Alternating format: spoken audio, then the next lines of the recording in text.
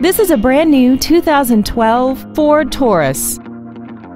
This four-door sedan has an automatic transmission and a 3.5-liter V6. Stop by today and test drive this automobile for yourself.